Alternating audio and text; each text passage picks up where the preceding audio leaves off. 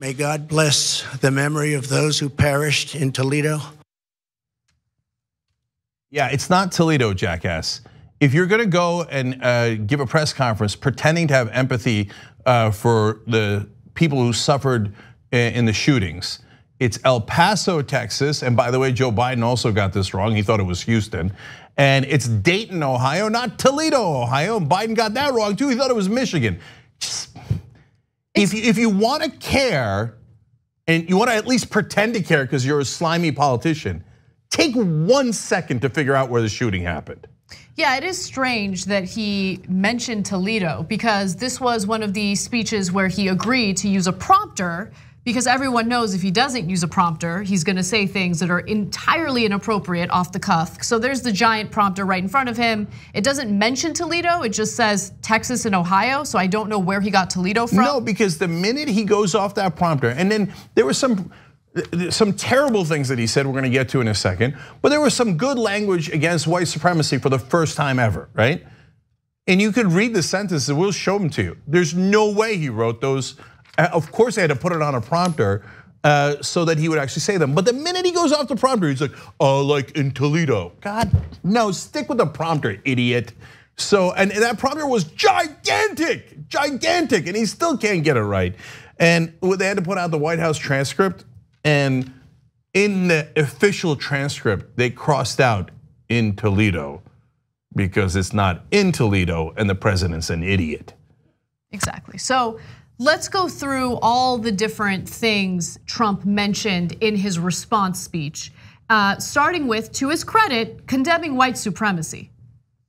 The shooter in El Paso posted a manifesto online consumed by racist hate. In one voice, our nation must condemn racism, bigotry, and white supremacy. So that's that's a fine statement, except I don't believe him because I have no doubt that either tomorrow or a few days from now, he'll fall back on the one campaign strategy that has gotten him in the position that he's in today, which is stoking racial tensions, exploiting racial divisions in the country, and saying the most hideous things about immigrants. By the way, again, over 24 migrants have died in US custody at the border. So we're in the business of killing people in America. So let's uh, let's quickly go to uh, graphic one because in the middle of this image, you will see the text from the manifesto that the shooter had posted online right before he committed this act of domestic terror.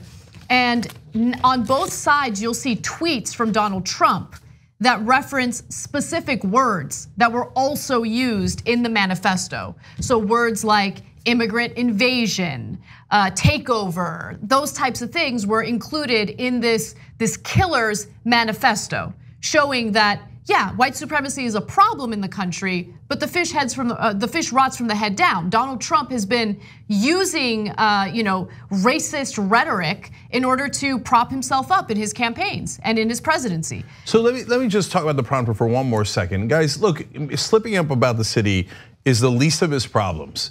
But uh, when you see him read from the prompter, it's so obvious. Now, look, do other presidents read from prompters? Absolutely, right?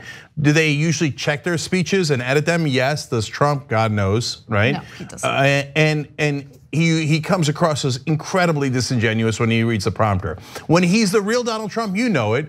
Oh, we had a very strong reaction, etc. Right? When he's reading from a prompter, he reads like this. So uh, he said these words. These are good words. He said, These sinister ideologies must be defeated. Hate has no place in America. Hate warps the mind, ravages the heart, and devours the soul. Does anyone believe Donald Trump wrote that? Of course not. And you want to know why no one believes he wrote that? Because this is what the real Donald Trump looks like. You also had people that were very fine people on both sides. That was his response after the hate march in Charlottesville, Virginia, which led to the murder of Heather Heyer by white supremacists. Look, it, it, over two dozen uh, terrorists, uh, right wing terrorists, uh, that either carried out the attack or planned an attack have cited Donald Trump specifically, let alone the others that were encouraged by him and had similar language. But uh, about two dozen have literally said, oh, I really like Donald Trump. This is the I was inspired by the message of Donald Trump, et cetera. One of the very first ones that happened was uh, not a, a, shooting. It was uh, a couple of guys who beat down a homeless person and urinated on him. And and yes, and urinated on, on him in, in public because he was a Latino. Now, of course, he was a U.S. citizen. Who cares? That's a brown person. Let's go. And he's homeless. He can't help him uh, defend himself. Anything, right? Pick on the most powerless person based on race and do that kind of horrific attack, right? You know what Donald Trump said afterwards? He said, Well, uh, uh, I have very passionate followers and they love this country very much. In response to that attack. Because not only does he encourage people with his overall rhetoric, but he specifically backs guys who do specific acts of violence uh, based on that rhetoric. Remember all the uh, the rallies where he said, "Oh, Start beating people up like the good old days, and I'll pay your legal bills. He has encouraged violence from day one. He's yes. not at all put off by it. He thinks there's very fine people on that side. So, with that said, and we're gonna get to him glorifying violence in just a second, but there was a curious call for bipartisanship during his speech as well. Open wounds cannot heal if we are divided. We must seek real bipartisan solutions. We have to do that in a bipartisan manner. So, lack of bipartisanship isn't an issue coming from the Democrats in this case, right? Democrats in the House, by the way, have already passed gun control legislation. You wanna know where it's stalled? Where there's a big bottleneck? It's with Massacre Mitch in the Senate. He has blocked legislation. He won't even bring it to the floor for a vote. So you want to talk about bipartisanship? Take a good hard look at your own house, okay? And and ironically, Trump tweeted about how, oh yeah, yeah, we can do this as long as we attach it to the kind of anti-immigration, uh, quote unquote, reform that I want. The guy in El Paso shot people because he thought there was an immigrant invasion, and your answer is to double down on that as a solution yep. to the shootings? What kind of a monster does that? That's the real Donald Trump, not the one going, I would like to do bipartisan solutions. Yeah. What are you? Talking? Okay, check. The House already passed federal background checks. You're blocking it. You said you'd veto it. So why don't you do the bipartisan thing that you claim? What an unbelievable liar. And let's take a quick look at where the American people stand, where the voters stand, and how the Republican Party incessantly turns its back on these voters. So, according to Quinnipiac, universal background checks, 94% of Americans support it mandatory waiting periods to buy a gun so you can do a proper background check. 83% of Americans support that. Gun license requirement, 77% of Americans support that. The vast majority of Americans, including Republicans, do support common sense gun legislation. But Mitch McConnell will not bring that legislation to the floor for a vote, and there's a specific reason why. Again, he's accepting money from the NRA, so he has to act as the NRA's puppet. For him, that cold hard cash is way more important than saving people's lives. So, with that said, uh, let's get back to violence because uh, Trump thinks that glorifying violence, according to what he said in his speech, is a very, very bad thing. Take a look. We must stop the glorification of violence in our society. It is too easy today for troubled youth to surround themselves with a culture that celebrates violence. Okay, so with that said, let's take a look at a video of Trump glorifying violence. But how do you stop these people? You can't. There's no. That's only in the panhandle you can get away with that statement. Knock the crap out of them, would you? Seriously. I promise you, I will pay for the legal fees. I promise.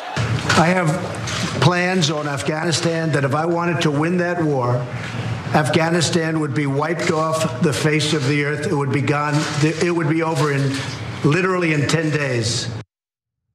He has been glorifying violence from the moment he started campaigning for president. Yeah, in the panhandle speech, uh, when he was talking about what do you do with this problem, he was specifically talking about immigrants. And the guy says, shoot them. And he laughs about it, like, only in the panhandle. No, it turns out not only in the panhandle, also in El Paso, Texas. And when he uh, jokes about it, you can hear someone in the background say, Second Amendment. That's what the Second Amendment's for, right? Oh, by the way. Innocent people who are fleeing for safety. Yeah, amazing. And, and, I'm glad you reminded me of that. And no one's talking about it today. I didn't see in any of the articles uh, or any of the coverage. Remember when during the campaign he was started talking about a Second Amendment remedy for Hillary Clinton? Wow. I mean, we got past like all of these insane calls to violence over and over and over again.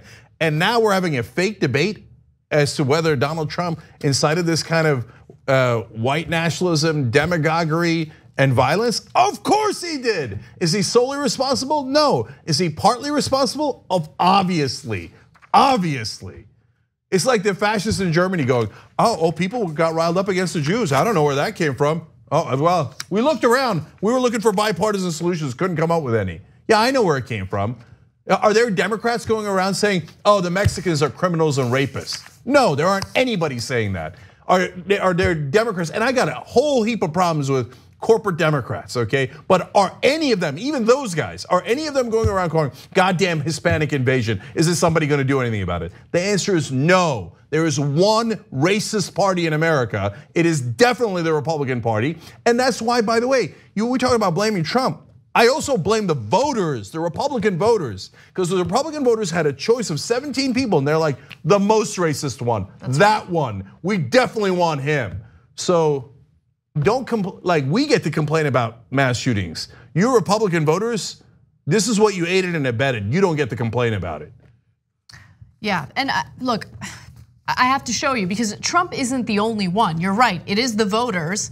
And Trump has emboldened people to, to carry out acts of violence or, in the very least, really show people who they really are. So let's take a look at Tucker Carlson. I mean, he's done how many segments now? Where he, uh, you know, goes after immigrants. In this one particular segment, uh, you know, he had a lower third titled, "How exactly is diversity our strength?" So what is it? Our weakness? Of course, yeah. that's what they think. Because because you're watering down the white race in America, and that's an obvious weakness. In reality, I could answer him for hours on how diversity is our strength, but he's he doesn't want to have that intellectual conversation. He just wants to say diversity is the problem, isn't it? And implicit in all of their talk is, isn't someone going to do anything about it? And hey, Tucker and, and Trump, congratulations, somebody did something about it. And finally, Representative Steve King, how can we forget? Uh, when he was interviewed by the New York Times, he said, quote, white nationalist, white supremacist, Western civilization. How did that language become offensive? Why did I sit in classes teaching me about the merits of our history and our civilization? By the way, uh, coincidentally, JD Scholten announced his candidacy today against Steve King. He nearly beat him last time. If you don't like white nationalists being encouraged by politicians to do massacres, you should throw Steve King's ass out of Congress. He's a United States congressman. That is an unbelievable shame for the rest of the country, let alone that district. You have a wonderful alternative. Go look up JD Scholten and make sure you support him to remove monsters like Steve King from Congress. And it's not just the white nationalism. Steve King, along with all of his Republican buddies, takes money from the NRA and purposely blocks legislation that would prevent these, at least have a shot at preventing these mass shootings. Why? Oh, Steve King takes money from the NRA. Get his ass out of Congress. On the go? Don't worry, we got you covered. You can still listen to TYT at our new podcast network. Find us on Apple Podcasts, the Google Play Store, or at tyt.com/podcast.